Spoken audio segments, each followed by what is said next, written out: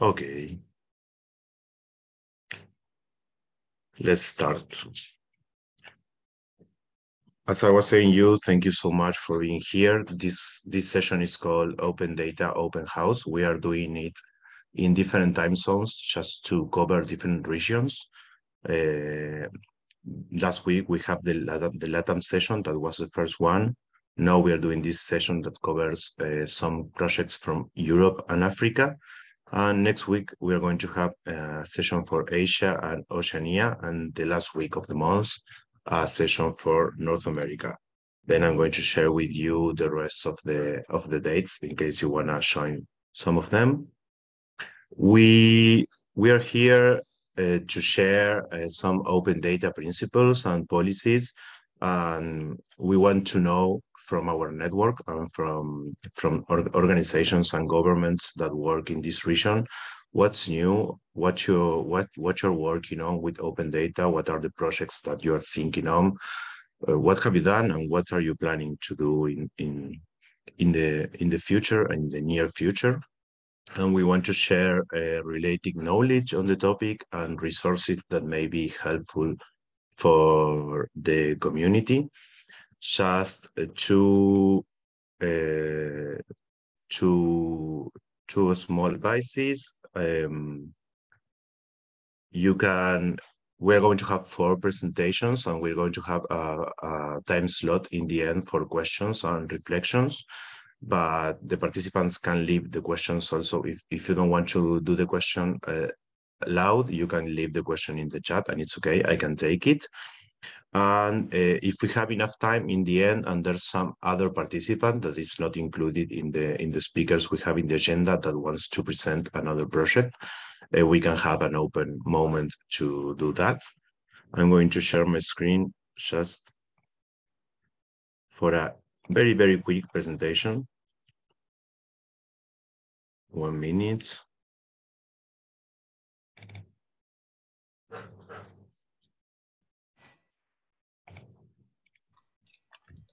I hope you all can see it. Well, this is the agenda for the session, for today's session. Um, we're going to have a presentation. Uh, it's going to be done by Poncelet Ileleji from Labs Banjul. Then we're going to hear to Karl Donert from Eurogeo. Then we're going to here some projects from Roberto Magro Pedroviejo from the network of local entities for participation and transparency uh, of the FEMP, more, more, more directly the Open Data Working Group. And then we're going to hear to Charlie Martial from Afroleadership. And then we're going to have a, a, a free space in the end to share uh, questions and if you have time, maybe some other project. Just a quick introduction on our work. The Open, the Open Data Charter is a collaboration between more than 170 government and experts working to open up data around the world. It was founded in 2015 and we have grown uh, a lot since that moment. And nowadays we are working in some core thematic axis and agenda, mainly in climate change, gender, and anti-corruption.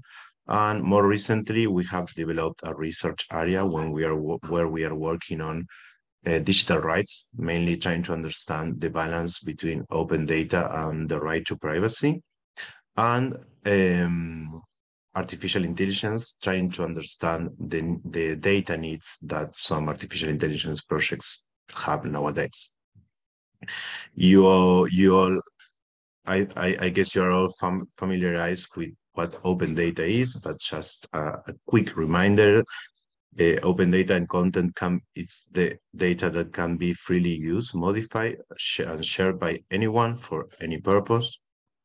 Uh, we have six global principles in the charter that I'm going to share really, really quickly so that we don't, that I don't steal more time from the speakers we said that the data should be open by default. And also nowadays we say that it should be open with a with a concrete uh, purpose. When we say by default, we know that there are some data that can't be open and because of the right to privacy. And so we have to to look at each case in particular and see how, how, how can we achieve that balance.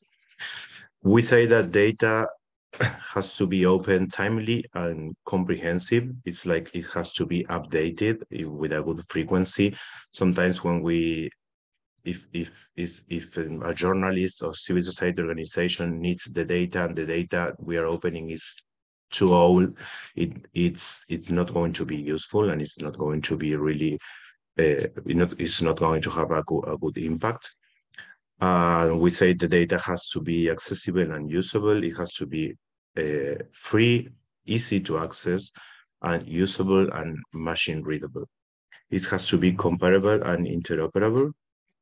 And we say also it has to be for improved governance and citizen engagement. Improved governance, it means that there's a whole part of the of the open government and open data that is not seen outside of the government. That is how all the principle, all the all the processes inside the government uh, improves because you have to plan the opening, you have to find standards, different different areas and different government agencies start to communicate better and to share information inside. So the processes get better and the public services get better. Uh, for citizen engagement, because it's just, it's not only for accountability and control, also when we open data, uh, universities and organizations can work on, on different projects and give feedback to the government and work together in, in improving the public policies. Uh, we said for inclusive development and innovation, mainly it, it is a little bit related with the core topics that I told you that we are uh, working on these days. It's like open data is useful to address some of the most uh, important challenges that we have nowadays in, in this century. I'm going to uh, stop sharing my screen and just present our first speaker. So one minute. Okay. Our first speaker today is Poncelet Ileleji from Labs Banjul. He's going to present a Taproot Earth project. I'm going to present a small video of Poncelet. He's a computer scientist by profession with over 25 years in the field. He has been involved with the use of information and technology communication as a tool for sustainable development, development both as the lead and CEO of Jokkolabs, uh, Banjul in the Gambia, and on the board of, Cho of Jokkolabs Global Network. Jokkolabs is an independent non-profit organization that serves as an open innovation ecosystem and a virtual cluster for social transformation based on an organic community of entrepreneurs and a network of innovation centers. So Poncelet, uh, the screen is yours. You can start your presentation. Thank you very much, um, Renato. Um, I, I think um, I'm happy to be here for this presentation and greetings presently um, talking from Sudan, South Sudan, Juba, because I'm here to help the UNDP to set up a project on innovation at the University of Juba, you know, so I'm speaking from South Sudan. Um, my presentation today focuses on Jokko Labs work we have been doing for the last um, two years. Um, we have we we have been involved in climatic change, and um, we have been working with a partner, um, one of our partners in the United States, in, in this in the south of the US, Taproots.x. And um, this year, we, because of what has been happening with climatic change, we have decided to focus on how climatic change has affected our women farmers that carry out um, rice cultivation because we have been, um, these women farmers have really been affected by salt, salt um, intrusion of salt water into the River Gambia. And in doing this, we had to look for very ways, apart from checking the salinity level, um, the most important thing was collecting the data.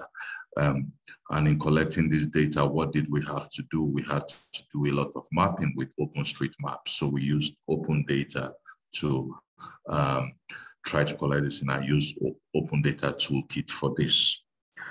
So overall, our project focused on one, agriculture, and the second thing, how it affects climatic change and what we can do to improve it, especially in relation to women. Because in Gambia, unlike in most parts of Africa, it's women that are highly involved in agriculture. And in this case, most of most of what they do, uh, most of what they grow, they use it to feed their family. So it's uh, um, subsistence farming.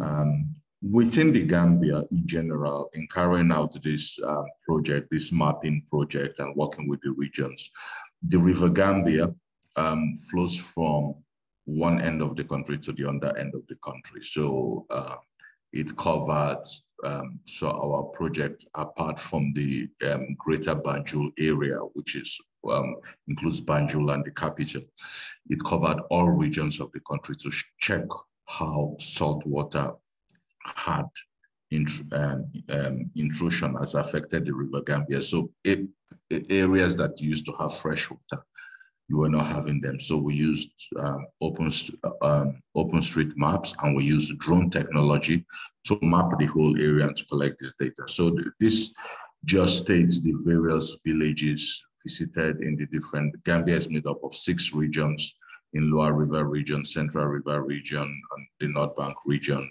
and Upper Region, region and West Coast region. Okay. So one of the challenges why this was done was uh, one, most of these farmers do not have the capacity to go commercial. Mm, that's one of their challenges.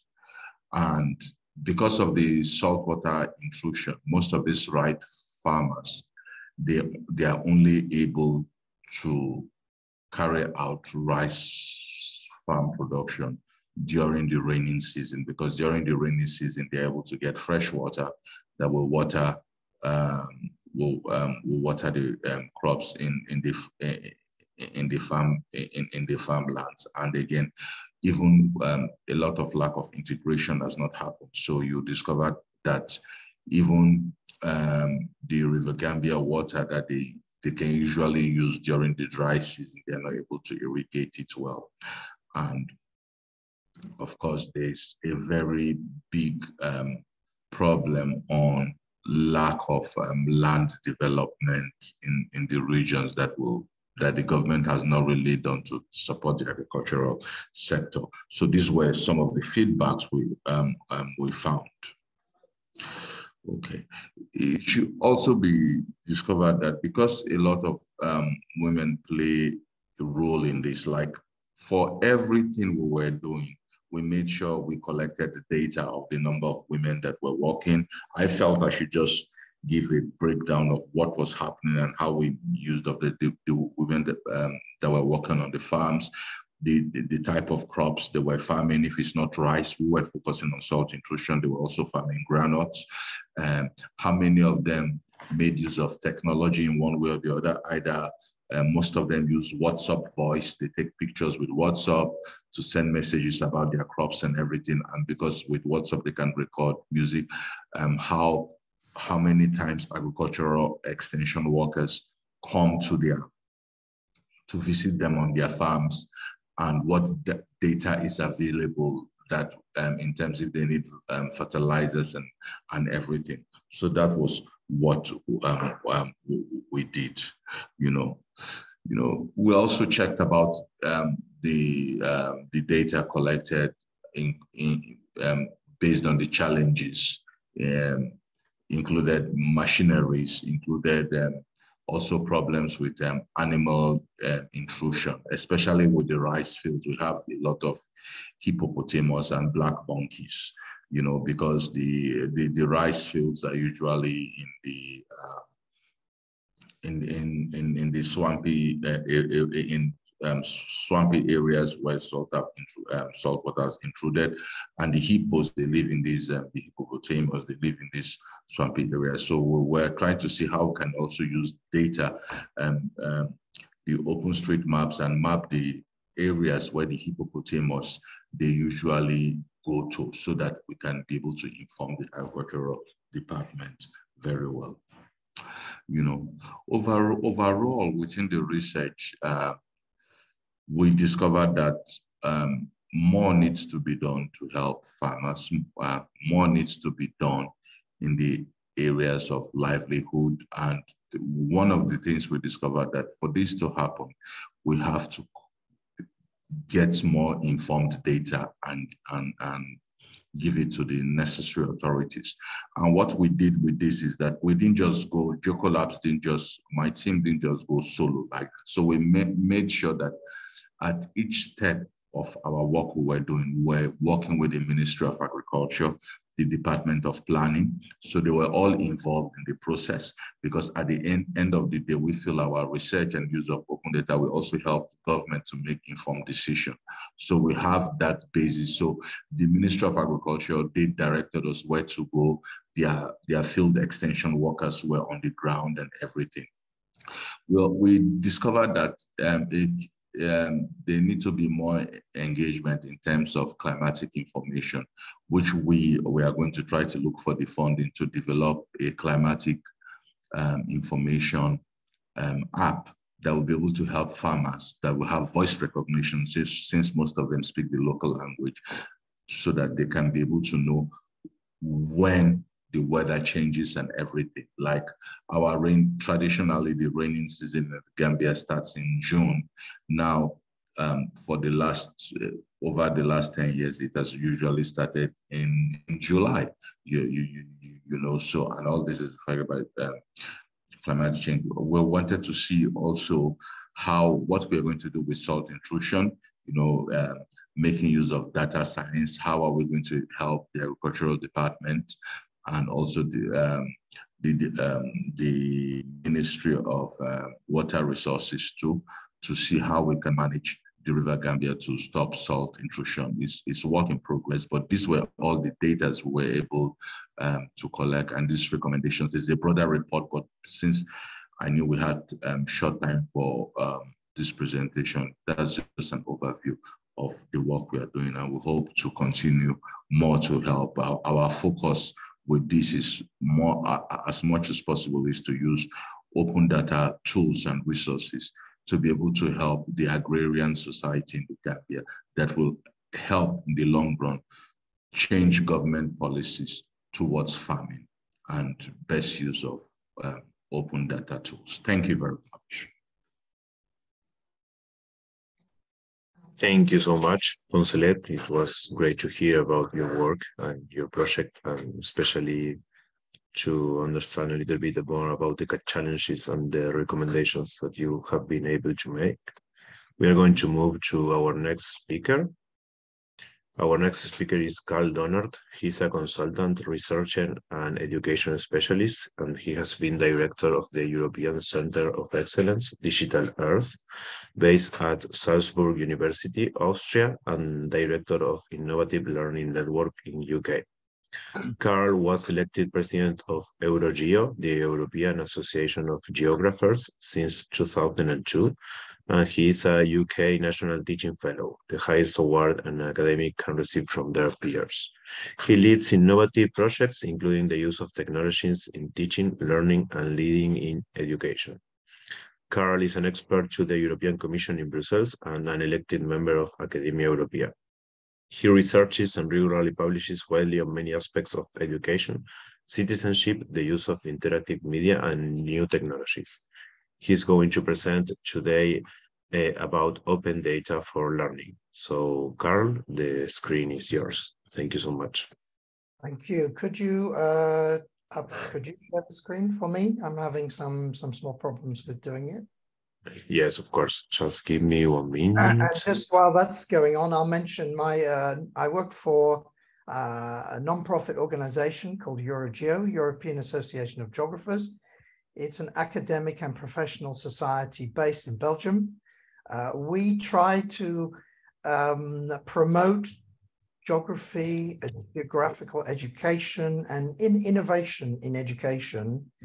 Um, and for the last uh, 15 years, we've been working with open data um, and try to encourage the use of geographic information, uh, geoinformation, which is uh, our, area, um, for citizens' uh, democratic engagement, but also for um, for education and teaching young people the value of, uh, of data, the value of open data and data skills. So my presentation will introduce uh, two projects, uh, which are the two logos there, D3 and Teaching the Future.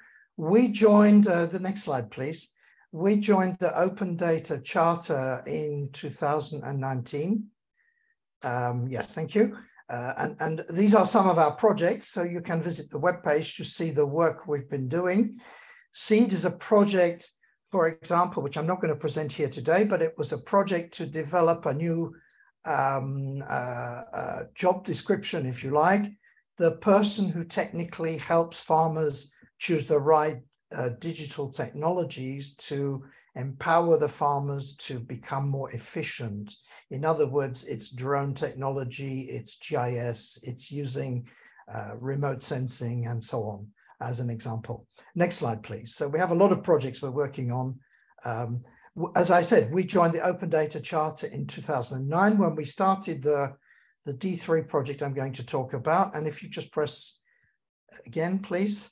And within the Open Data Charter, point 5D states that it is key to engage with schools and post-secondary education institutions to support the increased open data research and to incorporate data literacy into educational curricula. And we saw this point and thought, well, this is precisely what we have been trying to do for the past 10 years. So we were very glad to join the Open Data Charter and we've been participating in the implementation group whenever we can. And the next slide, please. So the two projects I'm going to talk about are D3, the Developing Data, Digital Data Literacy. And the next slide, please. Let's be quite quick. And D3 had uh, four objectives. Um, D3 finished about five months ago. So all the products and all the activities I'm going to talk about are all available on the internet. Um, we aim to promote the use of digital technologies and open data tools in learning and teaching in, in our review, very little was being done in schools. Um, uh, uh, high schools was our focus group. We wanted to increase the capacity for democratic engagement. So the idea that you can identify and use data, and then you can, it's the same data that the policymakers have, and then you can use that data to make your voice heard. And that was our perspective, the fact that data should, is open for a reason, for transparency, and that young people especially ought to be able to make their voice heard based on the data that is there. You can't do that unless you have data literacy. So our objective was to create a data literacy and to establish suitable styles of learning, and then to try to um, improve educational stakeholders' response to the need for data. If we're going to live in a data-rich society, we need to educate young people what is relevant for, for the data. And the next slide, please. So this relates to a European competence, European framework for digital competence. And in there, one of the competencies that's mentioned is the importance of digital tools, but also digital data. And the next slide, please. So we've created a literature review of school curricula and of qualifications and digital open data tools. You can find it on the website, d3.youthmeter.eu. We've created an open access teacher professional development course, really starting from the absolute basics. What is data? And what data is being held about me? Uh, we've created a toolkit of useful teaching resources And finally, we have a gallery of case studies of teachers we've worked with who have taken the ideas from the professional development course and then implemented them in the schools that they're working in. And the next slide, please. So here are a couple of illustrations, the, the, the, the toolkit and suggested tools, the homepage of the training course, and, uh, and a list of interesting and innovative tools and open data sets that schools and teachers might want to access. And the next slide, please.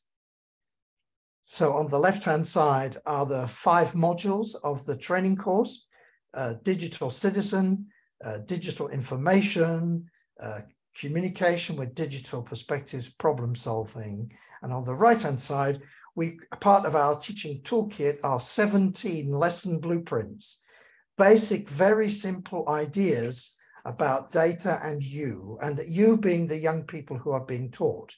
And it starts with where do you appear from your birth certificate and your date and your birth, all the way through to new technologies like Siri and artificial intelligence. So we have 17 lesson blueprint, blueprints created by some innovative teachers that we've been working with. And the next slide, please. So that's D3. And that project finished about six months ago. And uh, for me, all the resources and materials have been generated by practicing teachers and supported, um, obviously, by the European Union Erasmus project. That moved us on to thinking about climate change, and we wanted to start to apply some of the things that we'd learned as part of D3 for climate change. Climate change, of course, is also one of the um, most important uh, uh, issues that the Open Data Charter is trying to deal with. So we've initiated a new project called Teaching the Future. Next slide, please. and it's about open data. And it's about the young people who went on the streets all around the world saying that we need to take climate action now. And part of their campaign said we need education, we need to understand, and we need to know. Um, and we need to be informed. Next slide, please. They say the earth is at this tipping point and it's urgent. And why aren't the policymakers doing anything about it? That was that's been their campaign. It continues to be their campaign. And the next slide, please. so our premise is can education with open data change perceptions of young people and their parents probably in terms of climate? Can an education with open data, integrating open data in teaching about climate change, um, be, benef be beneficial? And the next slide, please. And our results, the pro we're in the middle of the project at the moment. We've done an analysis of curriculum and looked at the potential with the schools we're working in for teaching the future. That's to say climate education and using open data we are we have created we are in the process of creating an online climate data dashboard a teaching resource targeted at teachers with some materials and it's been developed from expert analysis. So we have interviewed climate scientists. What data should we be giving to teachers in education? We've also interviewed education experts um, in universities, pedagogues and so on, trying to ask them, what should we do? And we will eventually create an online teacher training course in using scientific data about climate in the classroom. So we're halfway through the project. We've just ended year one of two years. And the next slide, please. so here are some of the results. Oh yes, here is the review. The review of the literature shows that the current way of teaching about climate change is not effective as a uh, uh, it's taught as a geographic process, and that alternative visions of the future, according to Greer and Glackin, need to be presented. What are the visions of the future? Hence the project Teaching the Future. Next slide, please. so we started a review of what climate data is available online and what advice, support, and so on is there for education and teachers. Next slide, please we found lots and lots and lots of data. Most of it is not feasible to actually look at. Most of it is very difficult to understand. So we have started to create our own climate data dashboards based on research that we've done with climate experts and also teacher trainers. And if you'd like to go and look at them, and you go to teachingthefuture.eu news, we are at the moment piloting them with schools. We have about 12 schools across Europe we're working with. Anyone can join, please. We'd like your advice. And these are the screen grabs of the climate data dashboards that we have created. You can zoom into your location and the data that is presented, either from 1961 to 1990 or 1971 to 2000, is representative of the area that is zoomed in. So each of these boxes, can, the, the maps can be zoomed in, and then the data in the blocks is based on the area that you zoom into. So we've taken global data sets that are widely available and open access and tried to make them usable for teachers. And the next slide, please.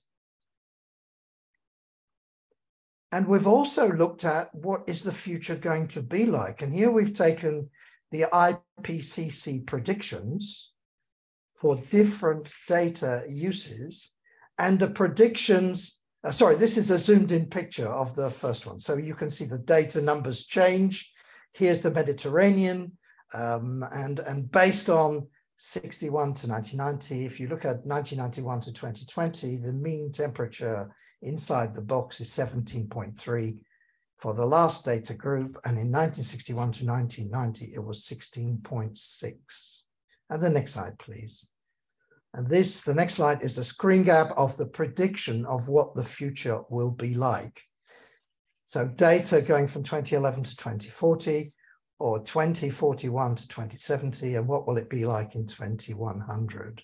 And we've taken three uh, scenarios. The green scenario with low emissions, the yellow scenario with moderate emissions and the red scenario with high emissions. Each of these blocks is enlargeable. Next slide, please. And you can also download the data, so you can zoom in. So go to teachingthefuture.eu forward slash news, and you can have a look at these data sets that we're testing at the moment and piloting with schools. Um, we will be piloting them for about the next month. And then we will take the comments and we will revise our data dashboard, uh, data dashboard. So we went from one data dashboard to two, and maybe we will add new data dashboards as we go along. Next slide, please. And these are the modules we're planning to develop for our training course. So it's about climate and open data. So four modules. Next slide, please. And to conclude, these are young people who were on strike. They want us to teach the future. They are frightened, they are scared about what climate is doing to the planet and their future. And the next slide, please. And so this was our incentive to try to do something about it, and especially our perspective that young people need to be aware that scientists are working very hard to understand the future.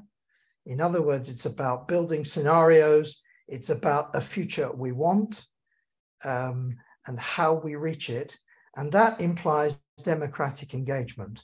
Um, and I'll thank you very much. And please visit our website, teachingthefuture.eu.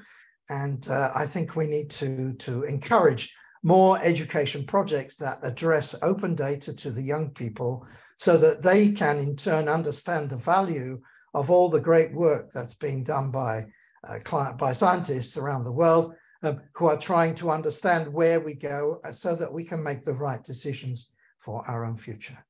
So I thank you very much. And I stop there.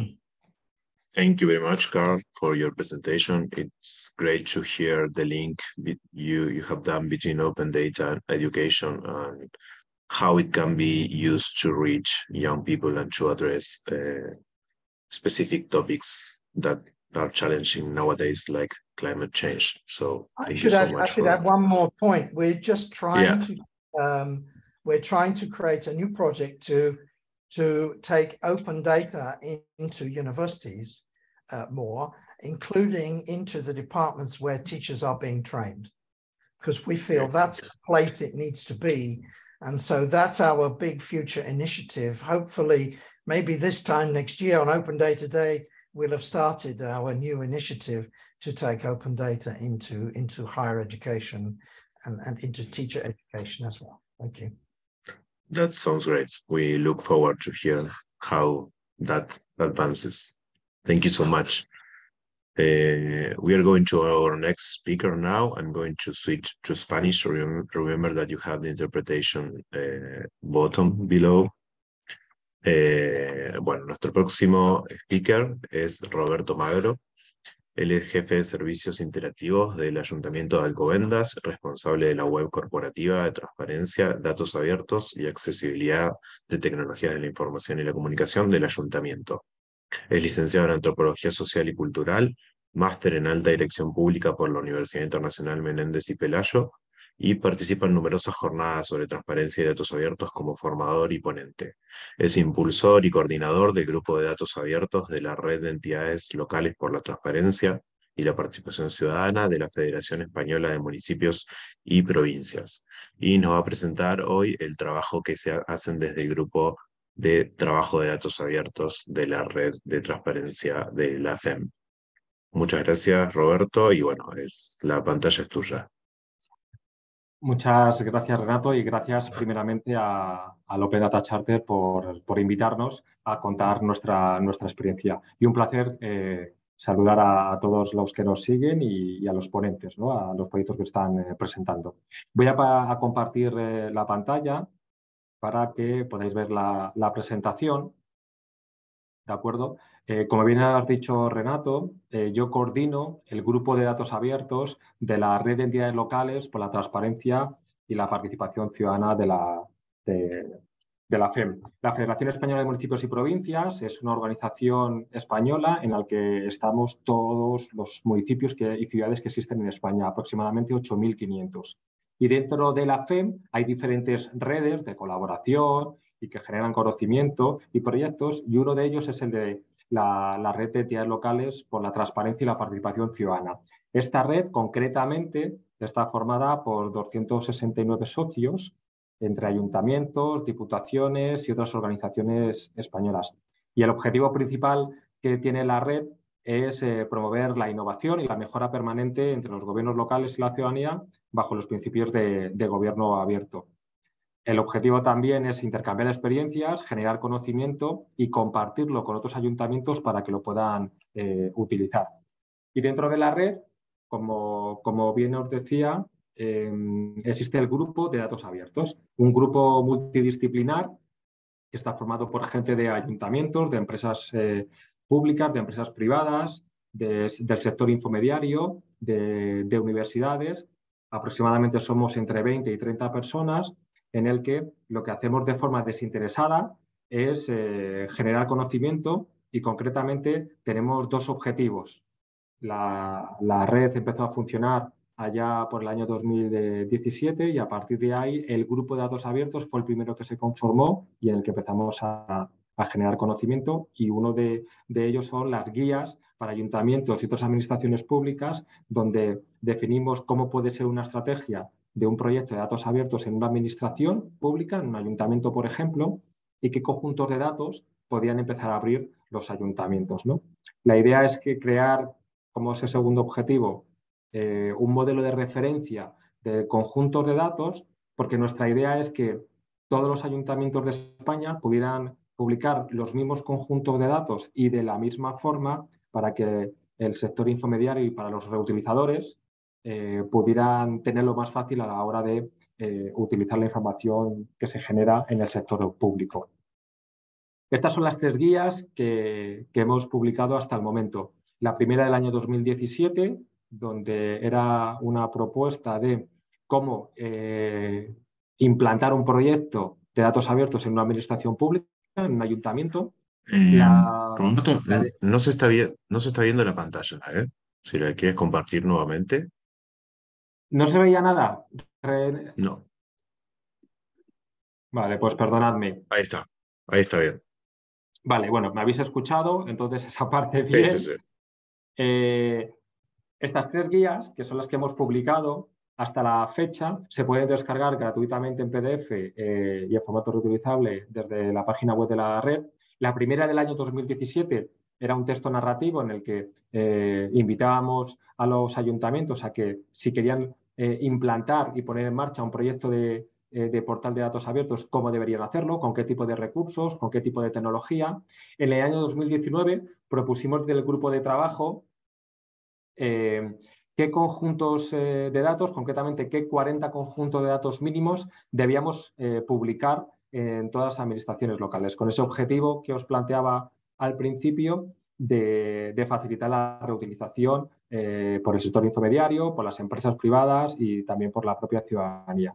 Y el año pasado, en el año 2022, publicamos la guía de visualización de datos. Fue una colaboración con un ayuntamiento español de Hospitalet de Llobregat, donde Em, indicamos qué tipo de visualizaciones serían las adecuadas para complementar lo que son los conjuntos de datos que, nos podemos descargar desde los portales de datos abiertos. Entonces, es una información muy útil porque creemos que la mayoría de la población no entiende qué es esto de los datos abiertos y lo que hace las visualizaciones es facilitar la, comprensión de, la información reutilizable. ¿no? Y dos proyectos concretamente los que estamos inmersos en este año 2023. El primero es la revisión de la guía del año 2019 y, vamos a proponer 80 conjuntos de datos eh, para publicar. Está previsto que el próximo mes de abril publiquemos esa, información y ahora os daré un, un adelanto. Y el otro proyecto que creemos que va a ser también muy interesante es proponer desde el grupo una ordenanza tipo, es decir, una normativa tipo sobre el gobierno del, dato para que cualquier ayuntamiento y cualquier administración pública en España la pueda tomar como ejemplo, como plantilla, por si luego quiere crear o quiere aprobar dicha normativa en el ámbito local en cada ayuntamiento. ¿no? Eh, como os decía al principio, eh, es importante recalcar que el trabajo es desinteresado, es decir, que todos trabajamos de forma desinteresada y gratuita para elaborar estos documentos y lo que hacemos es de forma colaborativa tener varias reuniones presencialmente eh, una, o dos, al año y luego el resto del trabajo es de forma colaborativa a través de, redes y, de, herramientas tipo como Zoom, Teams, eh, etc. El proyecto de los 80 conjuntos de datos a publicar. Es una propuesta de conjunto de, datos que desde las administraciones públicas podríamos publicar. Eh, están clasificados ya con los eh, determinados conjuntos de datos, si son de alto valor, según se define la estrategia y la directiva europea. También eh, buscamos y, lo que hacemos es definir en cada uno de los conjuntos de datos e indicar si se cumplirían algunos de los objetivos de desarrollo sostenible y luego todo lo que estamos generando eh, nos coordinamos con, eh, con datos.go.es, que es el portal estatal, el portal de España de datos abiertos, y la oficina del dato que hay en España. ¿no? De forma colaborativa compartimos la información eh, para que ellos, si lo ven oportuno, difundan y divulguen lo que estamos haciendo o incluso estemos alineados luego con la estrategia, con la estrategia europea. Voy a seguir compartiendo, en este caso, eh, el modelo de ficha de cada uno de los conjuntos de datos para que veáis eh, el trabajo que estamos, que estamos haciendo em, em, al, respecto.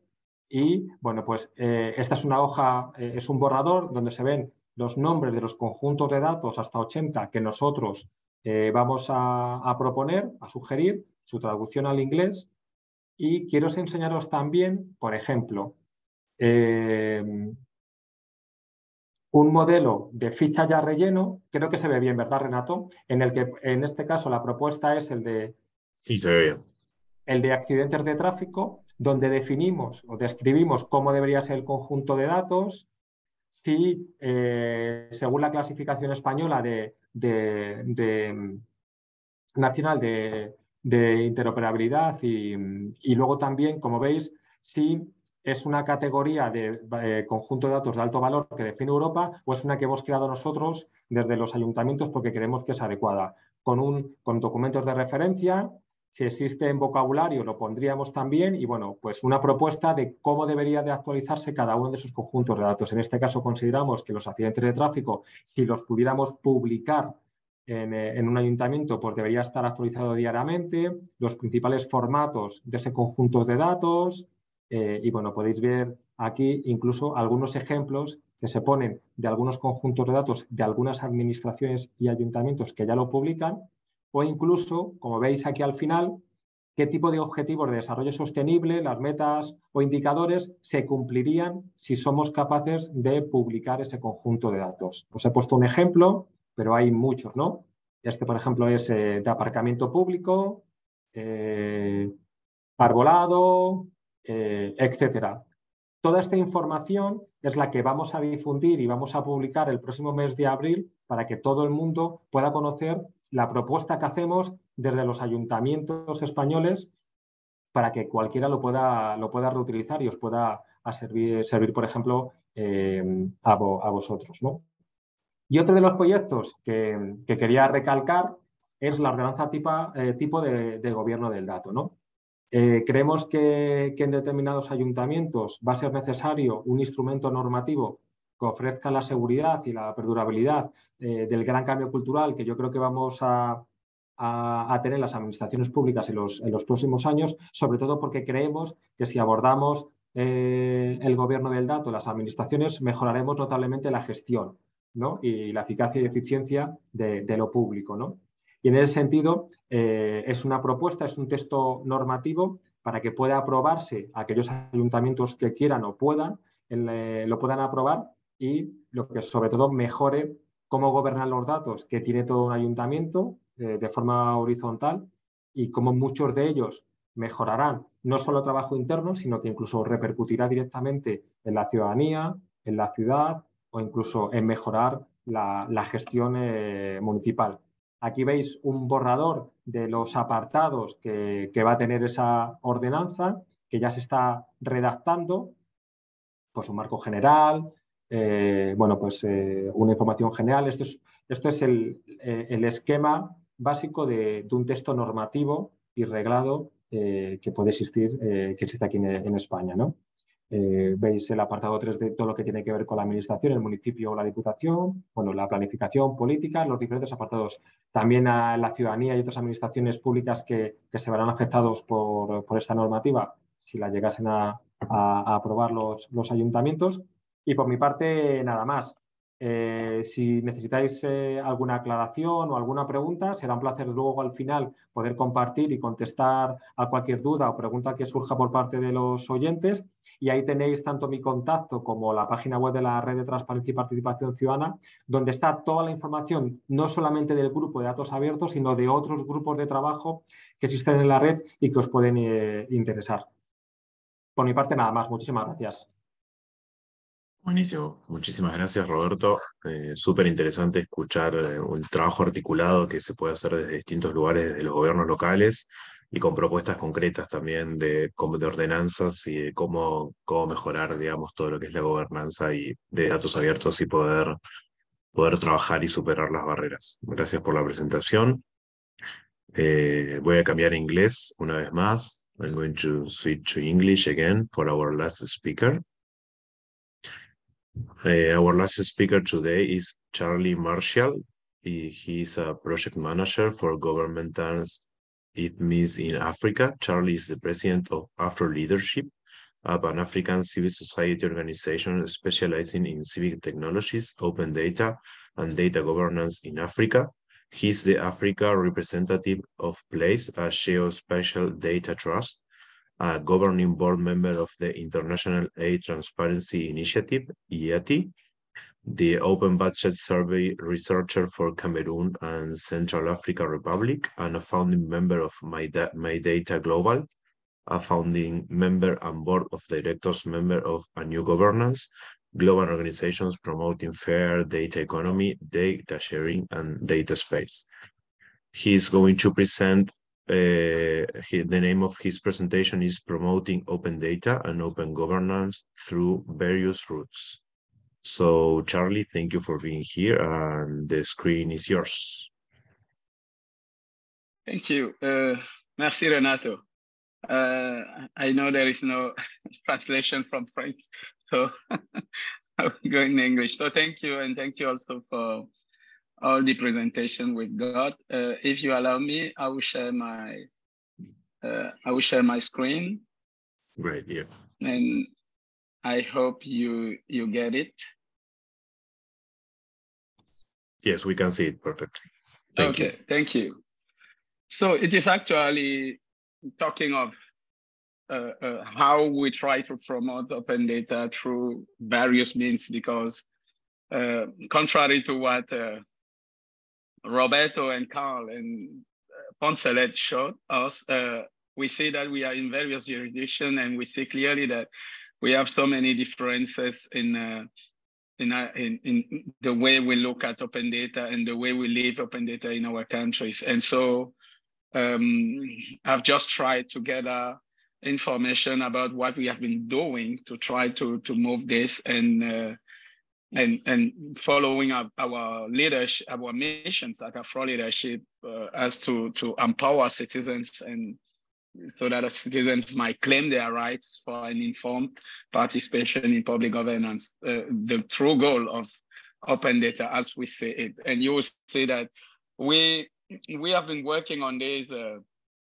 on this on several projects, trying to make sure we could we could find champions and leaders at every levels of government and governance in our countries. And I'm, I say in our countries because Afroleadership uh, uh, has been working in various countries in Francophone Africa mainly, uh, meaning uh, Gabon, Congo, Cameroon, where we where we are headquartered, and uh, and some other countries like the Comoros trying to open uh, um, the way public governance is led, and then in Cameroon, this is the presentation of uh, our last project that has to do with uh, um, open participatory budgeting, trying to open budget budget data, because as you as you might know, in uh, our countries, we don't, most of our countries don't have, you know, a comprehensive strategy or policy to push uh, open data. So most of the time you will have in the regulatory framework that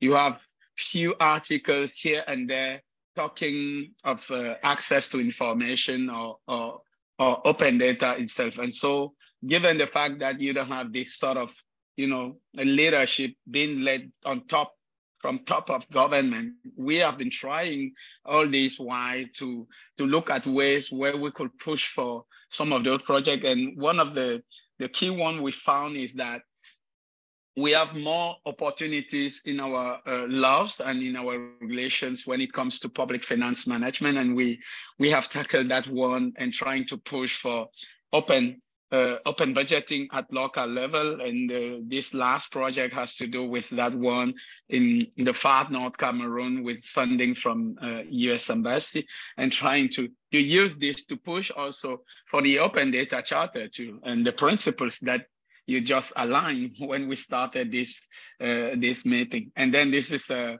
a, a, slide showing, you know, how people adhere and how governments, uh, local governments adhere to this project. And so far we've got 25, 25 local governments in Cameroon who, are, who have accepted to sign MOU on pushing, pushing them to publish uh, to publish their budget data, at least budget data, and, and you might understand that we we use just this key, this key word, you know, to get into uh, uh, open data in our local governments, and and then we have also started working with government in Africa, and this covers the continent, and this will certainly be uh, something that Karl that Karl understand well because Place is a, it's a, a global organization that we founded uh, that was in Omidyar network working on property rights. And now uh, with Place, we have decided to work on how to open geodata in every country and mostly in developing country, how to, to set a, a kind of level playing field where uh, data collection, that is the key constraints and key impediment to access geodata can be leveraged. And, and that's what Place is doing, trying to collect data, to use a model that will collect data and geodata in hyper-local way from in countries and then releasing the data to government bringing back the sovereignty on geodata to government and also uh, signing contracts with government to put the data in a data trust that will be available to anyone, to school, to students, to researchers, and to any uh, public administrations, you know, that will probably do the work that Karl just just presented or the work that uh, uh, Poncelet, just presented there. So one of the key problems that we have in our context is that data is not even available, you know. So even to speak open data, we need first to have data. And then when it comes to geodata, especially, we are very far from, from having data that is updated and that is reliable enough even to be to be seriously useful for public policies. And then we have been also designing Open Data Action Labs. This is a collaboration between Afroleadership and the GovLab. The GovLab is uh, one of the great research uh, lab on open data based in the US. And then we just set up this because we were part of uh, uh, open data regulation report in Africa uh, several years back. And so for, for three, four years now, we have not released the report. And then we look at uh, this situation with, with the GovLab and we thought it would be probably good to, to set up a kind of working group or maybe to build a dynamic that will help, you know, to get back to this policy strategy that was built and to see if we if we have to enhance existing policy or if we have to to to build new policies you know just to make sure we can we can push the dynamic around open data or around data collaboration and data reuse, something that we need seriously in Africa, and that will certainly help countries where open data policy are not really available, you know, to, to just, you know, get inspired by those policies that we might have on the continent. And we see that African Union has just released last year, February 2022, you know, the open the data policy framework. And we would like to build on that and build also on the African data consensus and also the uh, uh, uh open, open the statistic um, uh, African data statistic um, framework, you know, just to try to, to build dynamic that countries will get you know, to, in, to get inspired and to build their own local policy. And that will go back, go probably down to our municipalities.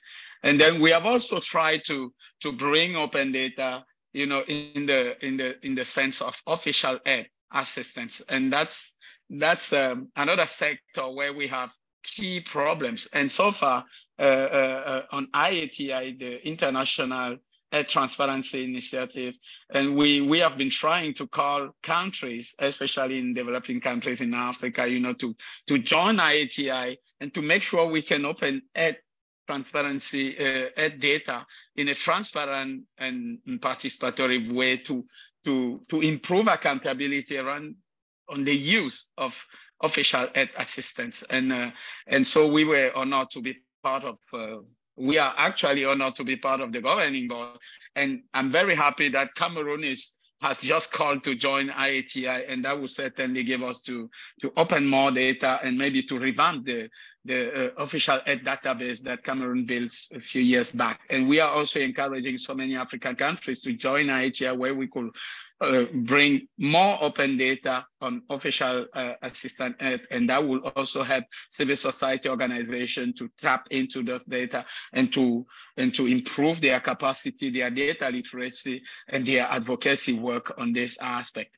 And also, we we've been trying to to push our our civil society organizations here to get to know uh, uh, the terms of license that work in the realm of open data by joining Creative Commons as Afroleadership and also trying to encourage uh, uh, opening chapters in, in some countries, especially in Central Africa.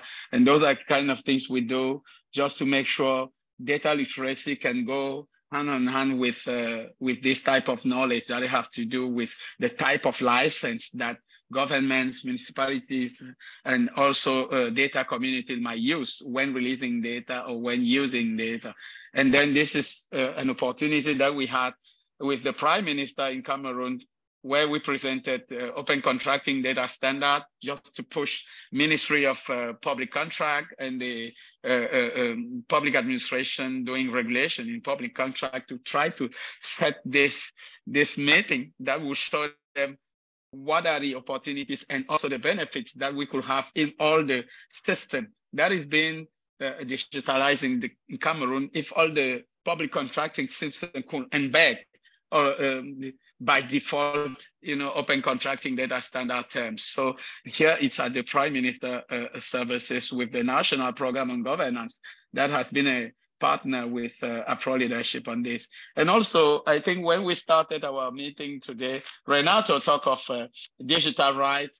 That is part of uh, of our open data charter dynamic. And we have been working also with My Data Global, trying to, to build this and to build a community. In Cameroon, we build a community and we are trying to set up many communities in, in, in Africa as we are actually managing the My Data, My Data Africa to show what are the stakes when we talk of open data, but also when to, to see the link between open data and digital right and personal and personal data and the conditions that should be that should be met. If we want really to open data while protecting uh, protecting human human human rights. And uh, and also uh, through this we talk of data justice and we even have this spe specific meeting today with Mozilla and trying to, to show that as artificial intelligence is, uh, is getting, you know, it, there is a hype for artificial intelligence and that is very much justified.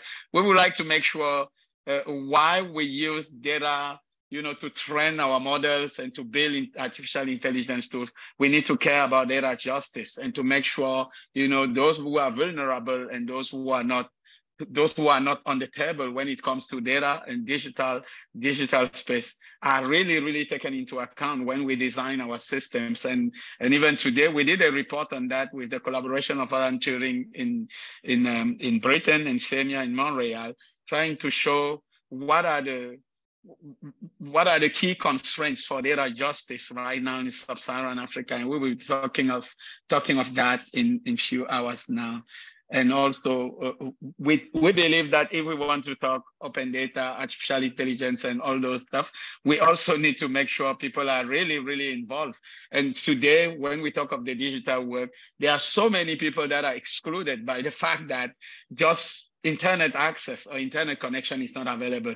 And so we, we presented a regulatory framework that we could use to make sure internet community network will be built in context where we know that those who are uh, uh, telcos might not be very happy to or maybe very encouraged to go there because of uh, business reasons. And we think that there are solutions very cost efficient solutions that will help to include more people especially in rural areas in africa.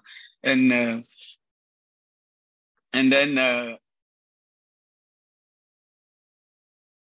Is it uh, is it blocked this? Renato, do you follow me? Okay, so now it has changed. Yeah. yeah. Okay, it was not changing. so one of the things that we saw while talking open data to local municipalities is that so many of them don't, don't even have a website. So we did this in Cameroon. We have about 400 uh, municipalities, and we see clearly that we have about 300 municipalities that doesn't that don't have a website.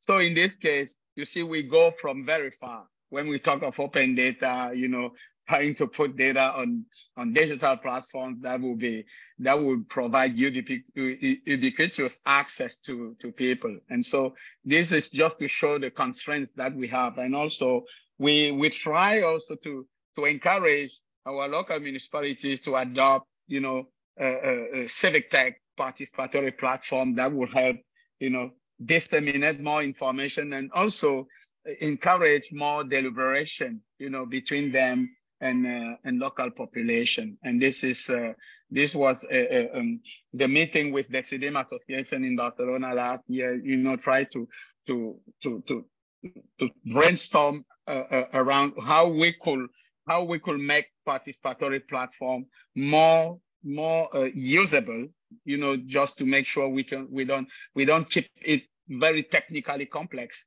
And this was just to reflect on that. And so uh, uh, I would like to end this by saying we are calling all countries to open budgets because we, we have understood that this is a key, key type of data set where we have more incentive when we look at the regulatory framework. Some other data sets it's more difficult to open now, right now in Africa, in most countries. And so thank you for that. That's great. Thank you so much, Charlie. It's great to learn how you work with different partnerships uh, in such different topics uh, through Africa. It's really great. Uh, now we have a few minutes left. Uh, this can be an open space if we have someone from the audience that want to make uh, some question or some comment. This is the moment. If there's someone there who wants to raise your hand and speak. And if not, I have uh, one last question to, to our speakers to, to close the session. I'm going to make my question, and if someone wants to speak from the audience, please just raise your hand and, and I'll give you a space. Uh, the the last question you have mentioned some of these things, but if you can, I would like to know if from your experience, from the work that you have done in in in your projects or in your region, uh, what are if you can tell us one or two important lessons that you came across from from the work you're doing? Uh, maybe we can start with charlie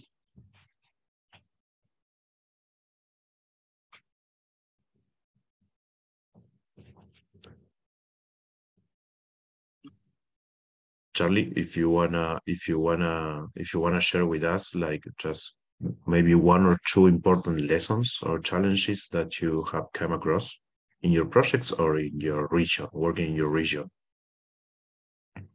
Yeah, I think, uh, thank you. Thank you, Renato. I think uh, the first thing to say is that um, regulatory framework is not harmonious and it's very mm. fragmented.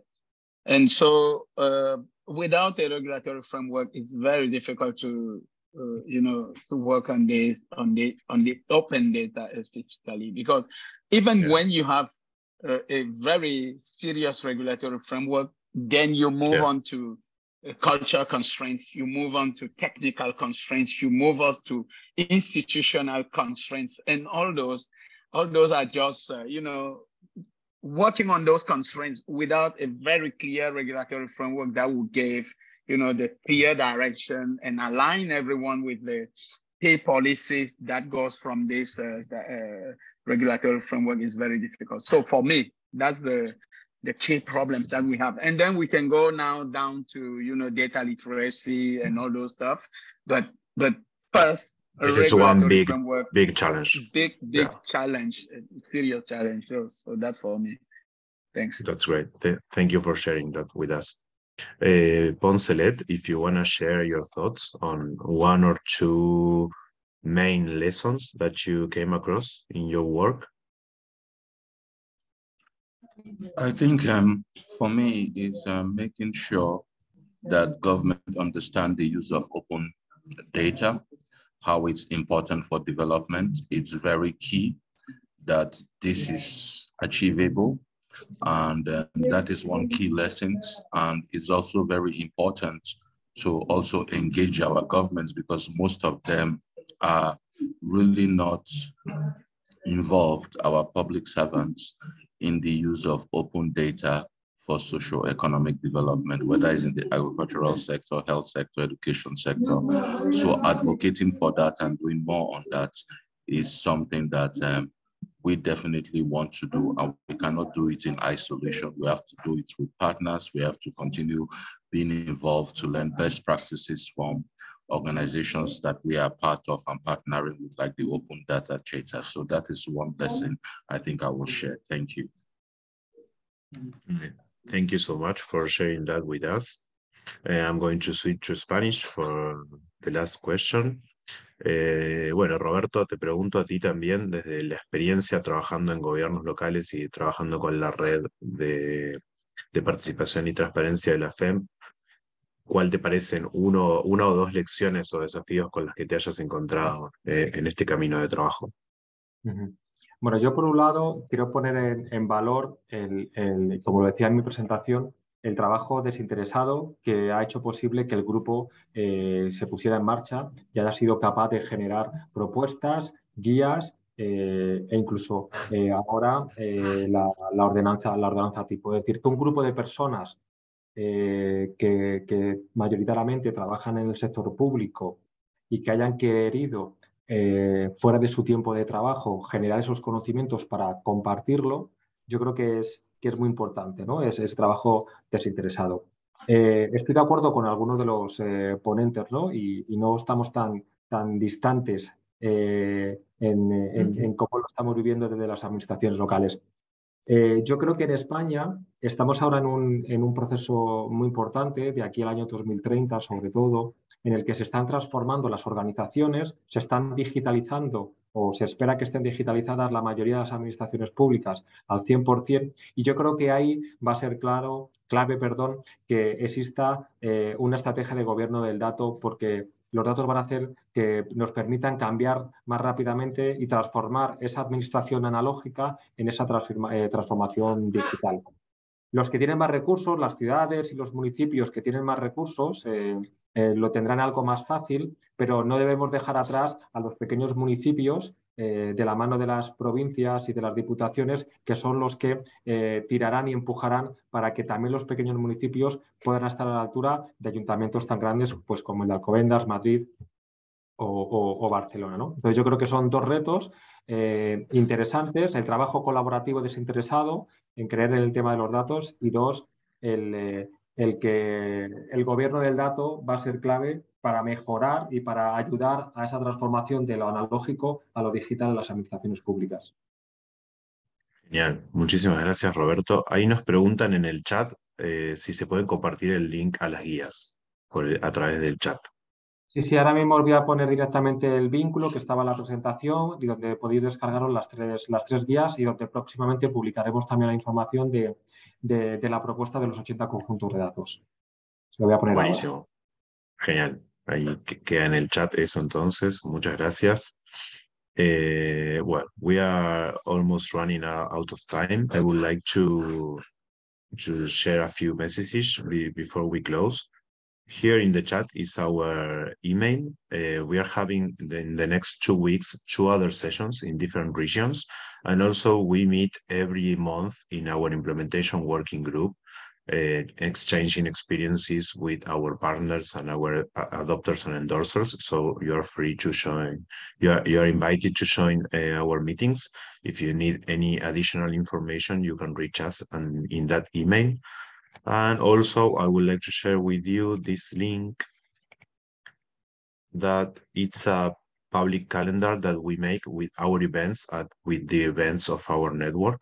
So you can you can find what out what's happening there in in the link.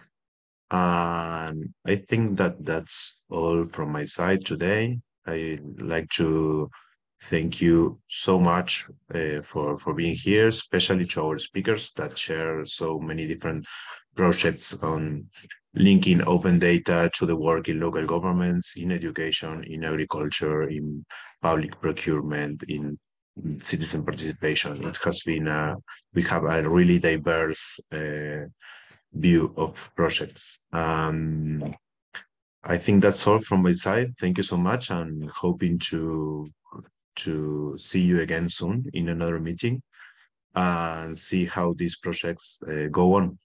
Thank you so much, everyone. Bye-bye. Thank you very much. Bye. Bye.